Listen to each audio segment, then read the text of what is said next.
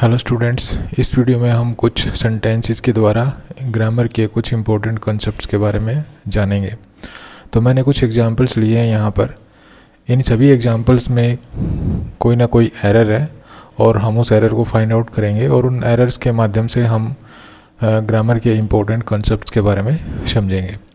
तो चलिए शुरू करते हैं। पहला सेंटेंस है he said that his father was liar अब यहाँ पे देखिए लॉयर उसने कहा कि उसका पिताजी एक लॉयर है, ठीक है? तो यहाँ पे वो अपने पिताजी के प्रोफेशन के बारे में बता रहा है। प्रोफेशन का मतलब कोई व्यक्ति क्या काम करता है, उसका क्या प्रोफेशन है, क्या उसका धंधा है, क्या व्यवसाय है, ये सब बातें। तो जब भी हम प्रोफेशन के बारे में बताते हैं तो किसी भी व्यक्ति के प्रोफेशन के बारे में जब हम बताते हैं तो उसके प्रोफेशन से पहले हम इंडेफिनेट आर्टिकल ए या एन का यूज़ करते हैं, जो यहाँ पर नहीं कर रखा है। जैसे अगर मैं कहूँ, राम एक क्लर्क है तो राम का व्यवसाय क्या है? क्लर्क ठीक है तो मैं कहूँगा राम इज़ ए क्लर्क मैं कहता हूँ, सोहन एक अध्यापक है। तो इसका मतलब है, सोहन का काम क्या है? एक अध्यापक। कि वो एक अध्यापक है, उसका व्यवसाय है अध्यापक अध्यापन करवाना टीचिंग करवाना। तो मैं कहूँगा, सोहन इज़ ए टीचर।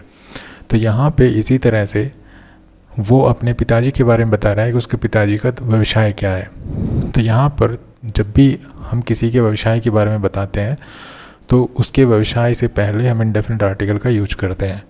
तो यहाँ पर हम इंडेफिनेट आर्टिकल का यूज़ करेंगे और यहाँ लॉयर से पहले हम ए का यूज़ करेंगे, ठीक है? जो इंडेफिनेट आर्टिकल होती है, उसका यूज़ हम यहाँ पे करेंगे तो ये सेंटेंस करेक्ट हो जाएगा। नेक्स्ट है we were about crossing the river अब इस सेंटेंस में जो स्पीकर है, वो क्या कहना चाहता है कि हम नदी को पार करने वाले थे? ठीक है? इसका ये मीनिंग निकलता है। तो यहाँ पे हम देखते हैं कि वर अबाउट लिखा हुआ है। आपको याद होगा कि मैंने एक वीडियो में बताया था कि एक फ्रेज होती है बी अबाउट टू ठीक है? बी अबाउट टू तो यहाँ पे जो स्पीकर है, वो कह रहा है we were about crossing the river कि हम नदी को पार करने वाले थे। तो इसका मतलब वो नदी को फ्यूचर में पार करते। उनके कहने का स्पीकर के यहाँ पर कहने का क्या मतलब है कि नदी को पार करना, वो जिस समय वो बोल रहे हैं, उसके बात करते। अर्थात यहाँ पर फ्यूचर का रेफरेंस है। और फ्यूचर के रेफरेंस के लिए हम बी अबाउट टू ये फ्रेज यूज़ करते हैं। यहाँ पर बी का मतलब है इज़ एम आर वाजवर ठीक है? जब प्रेजेंट की बात हो तो इज़ एम आर में से यूज़ करते हैं, जब पास्ट की बात हो तो वाज वर में से यूज़ करते हैं। जैसे, हम निकलने ही वाले थे तो हम कहें, मैं कहूँगा we were about to leave तो इस तरह से हम बी अबाउट टू का यूज़ जब फ्यूचर में कुछ होने वाला होता है, उसको बताने के लिए करते हैं तो हम यहाँ पे ये जो वर अबाउट है, इसकी जगह हम लिखेंगे वर अबाउट टू ठीक है, यहाँ पे टू हम और लिखेंगे। और जब टू लिखेंगे यहाँ पे तो ये टू एक इन्फिनेटिव है। तो यहाँ पे ये क्रॉस है, इसका हमें फ़र्स्ट फॉर्म बनाना पड़ेगा क्रॉस तो ये हो जाएगा we were about to cross the river कि हम नदी को पार करने वाले थे। तो जो बी अबाउट टू जो ये फ्रेज है, इसका यूज़ हम, जो है फ्यूचर के फ्यूचर में हम क्या करने वाले हैं? तो उस एक्शन के बारे में बताने के लिए करते हैं। यहाँ पर ध्यान रखना, ये जो टू है, ये इन्फिनेटिव होता है, ये प्रिपोजिशन नहीं होती है। नेक्स्ट एग्ज़ाम्पल है I have above thirty pairs of shoes तो यहाँ पर ये अबव है, इसका यूज़ यहाँ पे मोर देन के लिए किया गया है। मोर देन ठीक है? यहाँ पे जो स्पीकर है वो कहना चाहता है कि उसके पास तीस जोड़ी जूते से ज़्यादा जूते हैं। मतलब उसके पास जो जूते हैं, वो तीस जोड़े से भी ज़्यादा हैं। तो यहाँ पर अबव का यूज़ मोर देन के अर्थ में किया गया है। लेकिन ध्यान रहे कि जब हम नंबर्स का ज़िक्र करते हैं, जैसे यहाँ पे थर्टी पेयर्स हैं तो यहाँ पे थर्टी नंबर है। तो नंबर से पहले जब हम मोर देन के अर्थ में कोई शब्द यूज़ करते हैं तो वो अबोव नहीं होता है। हम अबोव को नंबर से पहले मोर देन के अर्थ में यूज़ नहीं कर सकते हैं। इसकी जगह हम यूज़ करेंगे ओवर ठीक है? हम यहाँ पे क्या यूज़ करेंगे? ओवर तो हमेशा ध्यान रखिए कि नंबर से पहले अगर आपको मोर देन के अर्थ में अगर कोई शब्द यूज़ करना है तो आप अबो यूज़ नहीं कर सकते। वहाँ पर आप ओवर का यूज़ कर सकते हैं। आगे है I know that they would accept to my proposal यहाँ पे देखिए एक्सेप्ट एक्सेप्ट के बाद में प्रीपोजिशन लगा रखी है। एक्सेप्ट एक ट्रांजिटिव वर्ब होती है। ये एक ट्रांजिटिव वर्ब होती है। They would accept what accept what what का आंसर है? माई प्रपोजल तो यहाँ पर ये ऑब्जेक्ट है। ठीक है? ये ऑब्जेक्ट है और एक्सेप्ट एक ट्रांजिटिव वर्ब होती है। तो ट्रांजिटिव वर्ब और ऑब्जेक्ट ट्रांजिटिव वर्ब के बाद जब हम ऑब्जेक्ट लगाते हैं तो हमें किसी प्रीपोजिशन की ज़रूरत नहीं पड़ती है। तो यहाँ पर ये जो प्रीपोजिशन है, ये अननेसेसरी है। हम इसको हटाएँगे तो ये सेंटेंस सही होगा। जब कोई इंट्रांजिटिव वर्ब होती है और उसके बाद जब हम किसी ऑब्जेक्ट का यूज़ करते हैं तो हम प्रीपोजिशन लगाते हैं। ठीक है? लेकिन जब कोई ट्रांजिटिव वर्ब होती है और उसके बाद जब हम ऑब्जेक्ट लगाते हैं तो हम किसी भी प्रीपोजिशन का यूज़ नहीं करते हैं। तो यहाँ पर ये प्रीपोजिशन यहाँ पे अननेसेसरी है, हमें इसको हटाना पड़ेगा। नेक्स्ट सेंटेंस है I never accept presents from my clients यहाँ पर इस शब्द को देखिए एक्सेप्ट एक्सेप्ट एक ऐसा, जब इस सेंटेंस की अगर मीनिंग को देखें I never accept presents from my clients तो यहाँ पर जो स्पीकर है, वो क्या कहना चाहता है?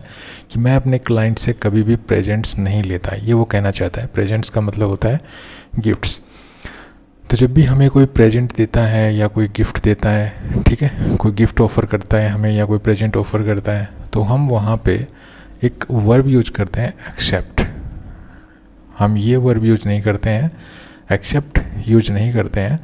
हम जिस वर्ब का यूज़ करेंगे, वो वर्ब है accept A double C E P T ये वो वर्ब है जो अब यहाँ पर यूज़ होनी चाहिए, क्योंकि स्पीकर यहाँ पे कह रहा है कि मैं अपने क्लाइंट से जो है कभी भी प्रेजेंट्स प्रेजेंट्स का मतलब होता है उपहार। ठीक है? वो उपहार वगैरह एक्सेप्ट नहीं करता है। तो यहाँ पे जो जब भी हमें कोई आ, कोई वस्तु गिफ्ट करता है कोई आ, वस्तु ऑफ़र करता है तो हम जो वर्ड यूज़ करते हैं उसके लिए वो ये वर्ड होता है एक्सेप्ट ठीक है? A double C E P T अब ये वर्ड क्या है? ये वर्ड एक प्रीपोजिशन होती है। और इसका यूज़ हम तब करते हैं जब हम किसी स्टेटमेंट में से या तो कोई वर्ड कोई थिंग या कोई पर्सन को छोड़ रहे हैं, ठीक है उसको एक्सक्लूड करके चल रहे हैं जैसे एक एग्जांपल लिखूँ मैं तो यहाँ पे everyone everyone except Sohan everyone except Sohan helped the old man. The old man इसका अर्थ ये है कि प्रत्येक व्यक्ति ने हेल्प द ओल्ड मैन बूढ़े आदमी की मदद की एक्सेप्ट सोहन. तो देखिए यहाँ पे एक्सेप्ट लिखा हुआ है एक्सेप्ट सोहन. तो ये मेरी स्टेटमेंट है. इस स्टेटमेंट में मैं इस सोहन नाम के पर्सन को एक्सक्लूड करके चल रहा हूँ. ठीक है? मतलब सोहन के सिवाय प्रत्येक व्यक्ति ने बुज़ुर्ग आदमी की मदद की. तो जब भी हम किसी स्टेटमेंट में से किसी पर्सन को या थिंग को एक्सक्लूड करके चलते हैं तो वहाँ पर ये एक्सेप्ट वर्ड यूज़ किया जाता है, ये एक प्रीपोजिशन होती है। लेकिन जब कोई हमें गिफ्ट देता है, कोई चीज़ ऑफ़र करता है और हम उसको स्वीकार करते हैं तो हम वहाँ पे ये वर्ड यूज़ करते हैं A double C E P T ठीक है? इसका मतलब होता है स्वीकार करना, इसका मतलब होता है कि सिवाय। आगे देखिए I am looking for an accommodation near the city centre अब यहाँ पे इस वर्ड को देखिए अकोमोडेशन अकोमोडेशन एक ठहरने का स्थान होता है और ये एक ऐसा स्थान होता है जहाँ पर हम स्पेशली जब हॉलीडेज़ पे होते हैं या किसी टूर पे जाते हैं तो यहाँ पर for a short amount of time के लिए जब हम ठहरते हैं किसी स्थान पर तो हम इस वर्ड का यूज़ करते हैं अकोमोडेशन और ये एक अनकाउंटेबल नाउन होता है। और क्योंकि अनकाउंटेबल नाउन होता है तो अनकाउंटेबल नाउन से पहले हम कभी भी इंडेफिनेट आर्टिकल का यूज़ नहीं करते हैं। अनकाउंटेबल नाउन से पहले हम कभी भी इंडेफिनेट आर्टिकल मीन्स ए और एन ए और एन का यूज़ नहीं करते हैं। तो यहाँ पे इस सेंटेंस में ये जो एन का यूज़ कर रखा है, यही यहाँ पे मिस्टेक है। तो हमें इस सेंटेंस को अगर सही करना है तो ये अकोमोडेशन से पहले इस एन को हमें हटाना पड़ेगा। ठीक है? नेक्स्ट है she had gone of her accord ये ऑफ़ हर अकर्ड जो फ्रेज है, ये यहाँ पे अधूरी है। ऑफ़ हर अकर्ड यहाँ ये जो फ्रेज होती है, जब इसको हम कंप्लीट करेंगे तो हमें यहाँ पे ऑन और लिखना पड़ेगा। और ये हो जाएगी ऑफ़र ऑन अकर्ड इसका मतलब होता है अपनी खुद की मर्ज़ी से। तो सी हैड गोन वो चली गई थी ऑफ़र ऑन अकर्ड अपनी खुद की मर्ज़ी से। तो ये एक फ्रेज है, ये एक फ्रेज है इंग्लिश में, जो कि ऑफ़ हर ऑन अकर्ड होती है, लेकिन इस सेंटेंस में ऑन को यहाँ पे नहीं लिख रखा था, इस वजह से सेंटेंस गलत था। ठीक है? तो यहाँ पे हमें इस सेंटेंस को करेक्ट करने के लिए पहले इस फ्रेज को सही करना पड़ेगा और फ्रेज को सही करेंगे तो ये हर के बाद में ऑन हम यूज़ करेंगे। नेक्स्ट देखिए they accuse him of drinking they accuse him of drinking while drinking wine while driving तो जहाँ तक इस सेंटेंस का सवाल है, इस सेंटेंस में कोई एरर नहीं है, लेकिन कई बार क्या होता है कि ये अक्यूज जो वर्ब है, इसके साथ यहाँ पे फोर प्रीपोजिशन दे देता है। ठीक है तो आपको हमेशा ध्यान रखना है कि अक्यूज जो वर्ब है, इसके बाद हमेशा ऑफ़ प्रीपोजिशन का यूज़ किया जाता है। तो कई बार हो सकता है ऐसा कि अक्यूज जो वर्ब है, इसके साथ फोर प्रीपोजिशन आ जाए तो यहाँ फोर प्रीपोजिशन कभी नहीं लगती है। अक्यूज के बाद हमेशा ऑफ़ प्रीपोजिशन का ही यूज़ किया जाता है। नेक्स्ट सेंटेंस है according to my opinion teaching is a noble profession तो अब इस सेंटेंस को देखिए, यहाँ पे यूज़ कर रखा है अकॉर्डिंग और ओपिनियन तो हमेशा ध्यान रखिए कि हम कभी भी अकॉर्डिंग टू और ओपिनियन को एक साथ यूज़ नहीं करते हैं। ओके यहाँ पर मुझे अगर इस सेंटेंस को सही करना है तो मैं लिख सकता हूँ in my opinion in my opinion, teaching is a noble profession.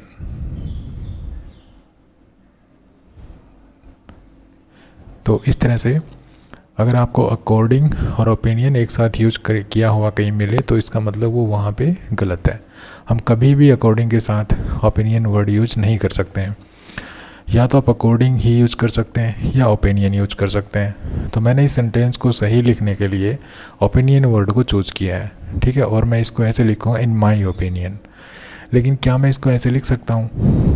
According to me according to me teaching is teaching is noble profession क्या मैं ऐसा लिख सकता हूँ? तो मैं ऐसा भी नहीं लिख सकता हूँ, ठीक है?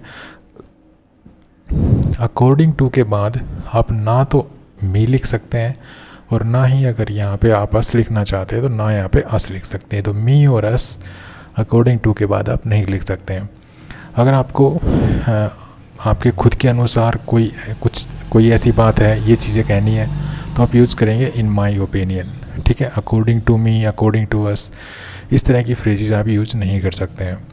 तो अगर आप ऐसा अगर आप यहाँ पे ऐसा लिखते according to me teaching is noble profession तो ये गलत होता। According to us teaching is noble profession तो भी ये गलत होता। ठीक है? तो अगर आप फ़र्स्ट पर्सन यूज़ कर रहे हैं तो यहाँ पे आपको ये ओपिनियन वर्ड ही चूज़ करना पड़ेगा इन माई ओपिनियन ठीक है? इस तरह यूज़ करना पड़ेगा। अगर आप अकॉर्डिंग टू यूज़ करना चाहते हैं अकॉर्डिंग टू यूज़ करना चाहते हैं तो इसके बाद आप थर्ड पर्सन यूज़ कर सकते हैं, जैसे according to Sohan teaching is teaching is a noble profession ठीक है? तो इस तरह से आप अकॉर्डिंग टू के बाद जो है थर्ड पर्सन यूज़ कर सकते हैं, लेकिन आप फ़र्स्ट पर्सन यूज़ नहीं कर सकते हैं। इसके अलावा आप इसी सेंटेंस को ऐसे भी लिख सकते हैं Sohan's opinion Sohan's opinion is that Sohan's opinion is that teaching is a noble profession. आप इस सेंटेंस को ऐसे भी लिख सकते हैं Sohan's opinion is that teaching is a noble profession आप इसको बिल्कुल इजी तरीके से ऐसे भी लिख सकते हैं Sohan says that teaching is teaching is a noble profession noble profession. ठीक है? आप इस तरह से भी सेंटेंस को लिख सकते हैं। तो कहने का मतलब ये है कि अगर आपको अकॉर्डिंग टू और ओपिनियन एक साथ लिखा हुआ मिल जाए तो वहाँ पे गलत है।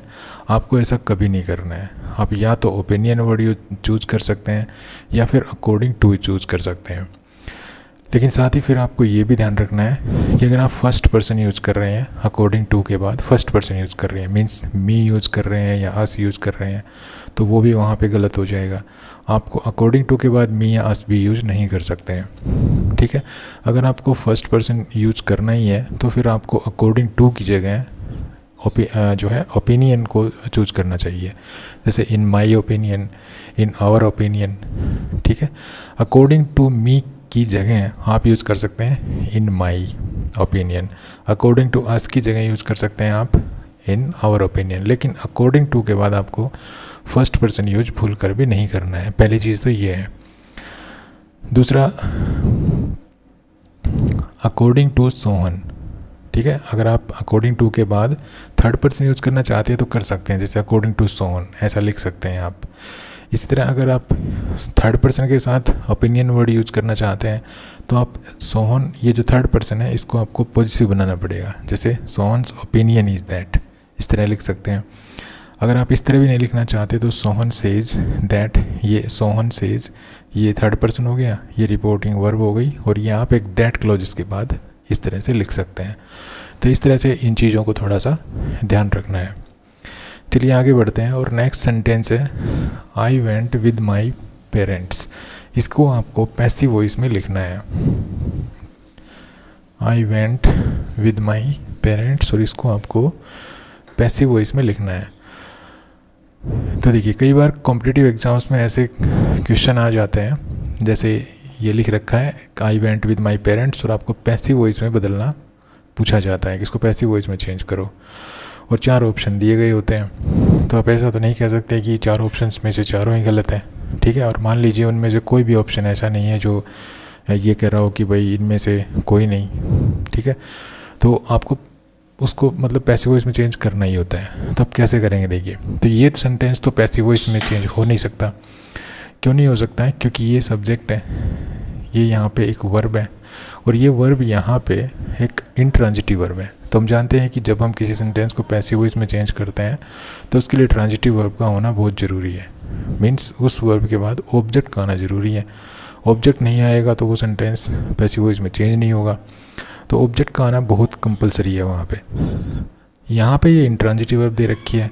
ये ऑब्जेक्ट तो है माई पेरेंट्स लेकिन ये ऑब्जेक्ट इस वर्ब का ऑब्जेक्ट नहीं है। ये ऑब्जेक्ट इस प्रीपोजिशन का ऑब्जेक्ट है। ठीक है ना? तो ऐसे में आप क्या कर सकते हैं? तो ऐसे में हम क्या करें कि इस वेंट विद की जगह कोई दूसरी, अगर हमें इसी के मीनिंग वाली अगर कोई दूसरी वर्ब मिलती है तो हमें इसकी जगह वो वर्ब लगानी पड़ेगी। ठीक है? अगर इस वेंट विद को सब्सटीट्यूट करने के लिए अगर हमारे पास कोई वर्ब है तो उस वर्ब को हम यहाँ पे पुट करके, लेकिन वो वर्ब होनी चाहिए ट्रांजिटिव तो आप उस वर्ब को यहाँ पे पुट करके जो है उसको इस सेंटेंस को पैसिव वॉइस में चेंज कर सकते हैं। तो देखिए वेंट विद और went go with come with ठीक है? इनके लिए हम एक वर्ब यूज़ कर यूज़ कर सकते हैं, इनकी जगह। ये तो गो विद और कम विद तो ये जो वर्ब होती हैं, ये तो गो और कम ठीक है? ये वर्ब तो होती हैं इंट्रांजिटिव हमें इनके साथ विद प्रीपोजिशन यूज़ करनी पड़ेगी। और ये इंट्रांजिटिव होती हैं और विद प्रीपोजिशन यूज़ करेंगे तो इनके बाद जो ऑब्जेक्ट होगा, वो इस प्रीपोजिशन का ही ऑब्जेक्ट होगा। तो ऐसे जो सेंटेंस होंगे, उनकी पैसिव वॉइस चेंज नहीं हो सकती है। लेकिन इनकी जगह मतलब अगर हम इनकी जगह एक वर्ब होती है अकम्पनी अगर हम इसको यूज़ कर दें अ कंपनी का मतलब होता है गो विद और कम विद ठीक है? इसकी जगह हम इन वर्ब्स की जगह हम मतलब इन शब्दों की जगह हम ये वर्ड ये जो वर्ब है, इसका यूज़ कर सकते हैं। और इस वर्ब को यहाँ पुट करके हम इस सेंटेंस को पैसिव वॉइस में चेंज आराम से कर देंगे। देखिए I went with my parents इसको मैं ऐसे भी लिख सकता हूँ आई अकम्पनीड क्योंकि ये पास्ट टेंस है तो यहाँ मुझे लिखना पड़ेगा अकम्पनीड और फिर मुझे विद यूज़ नहीं करना है। आई अकम्पनीड माई पेरेंट्स ठीक है? I went with my parents का क्या हो जाएगा? आई अकम्पनीड माई पेरेंट्स तो इसका मीनिंग और इसका मीनिंग दोनों का मीनिंग यहाँ पे सेम है। तो यहाँ पे अब हम इसको आराम से पैसे वो इसमें चेंज कर सकते हैं, क्योंकि यहाँ पे जो ये वर्ब है अकम्पनीड ये एक ट्रांजिटिव वर्ब बन गई। ठीक है? तो यहाँ पे अब हम इसको पैसे में चेंज करेंगे तो बड़ी आराम से चेंज कर सकते हैं। ये ऑब्जेक्ट है। हमने इसको सब्जेक्ट बना लिया माई पेरेंट्स वर्ब की सेकंड फॉर्म में तो हम जो हेल्पिंग वर्ब वो लगाएँगे वर। उसके बाद ये थर्ड फॉर्म लगाएँगे अकम्पनीड उसके बाद बाई और ये हो जाएगा आई का मी तो इस तरह से हम इसको पैसे वॉइस में चेंज बड़े आराम से कर डालेंगे। और विश्वास रखिए कि अगर ये किसी एग्ज़ाम में सेंटेंस आया हुआ है मीन्स ऐसा कोई सेंटेंस आया हुआ है जिसमें गोविद या कम विद ये वर्ब दे रखी है और उनको पैसे वो इसमें चेंज करने के लिए आपसे बोला जा रहा है। तो ये ऑप्शन उनमें से ज़रूर मिलेगा। ठीक है? तो इस वर्ब को यहाँ पे पुट करके हम इसको आराम से पैसे वॉइस में चेंज कर सकते हैं। अब ये देखिए, दसवा व्हाट इज़ योर नेम अब व्हाट इज़ योर नेम को मैं पैसे वॉइस में चेंज इसलिए नहीं कर सकता क्योंकि यहाँ पे ये बी की फॉर्म है। और मैंने आपको बताया था, जब बी की फॉर्म जैसे is, am, are, was, were. जब ये अकेले होते हैं तो इनके बाद ना तो कोई नाउन होता है, या कोई एडजेक्टिव होता है। ठीक है, इनके बाद या तो कोई नाउन होगा, या कोई एडजेक्टिव होगा। और जब इनके बाद कोई नाउन या एडजेक्टिव होता है तो वो कॉम्प्लीमेंट होता है। ऑब्जेक्ट नहीं होता है, वो कॉम्प्लीमेंट होता है। तो यहाँ पे इस, इसके बाद ये नाउन है तो ये नाउन क्या है? इसका कॉम्प्लीमेंट है। ये ऑब्जेक्ट नहीं है कॉम्प्लीमेंट है। तो सबसे पहले तो हम, और यहाँ पर ये लिंकिंग वर्ब है तो सबसे पहले मुझे इस सेंटेंस को ऐसे लिखना पड़ेगा। वट नेम मैंने, मुझे इसको जो वर्ब है, इस यहाँ पर कोई एक्टिव वर्ब यहाँ पे यूज़ करनी पड़ेगी। और वो एक्टिव वर्ब मैं क्या यूज़ कर सकता हूँ? तो वो वर्ब है कॉल तो हम यहाँ पे एक वर्ब है कॉल इस कॉल वर्ब को यूज़ करके हम इसको पैसिव वॉइस में चेंज कर सकते हैं। तो हम इसको पैसिव वॉइस में कैसे चेंज करेंगे? By what name are you called ठीक है? ये भी एक बार एक, एक कॉम्पिटिटिव एग्ज़ाम में क्वेश्चन आया हुआ है। व्हाट इज़ योर नेम इसकी पैसिव वॉइस चेंज करना। तो इसकी जो पैसिव वॉइस होगी वो ये होगी by what name are you called okay तो इस वीडियो में इतना ही। आगे और भी मैं ऐसे ही वीडियो बनाऊँगा जिसमें हम इसी तरह के जो इम्पोर्टेंट जो कॉन्सेप्ट हैं, उनको हम देखेंगे। तो इस वीडियो में इतना ही। अगर वीडियो पसंद आया तो प्लीज़ को लाइक कीजिए शेयर कीजिए और चैनल को सब्सक्राइब करना बोले thanks for watching this video happy learning bye bye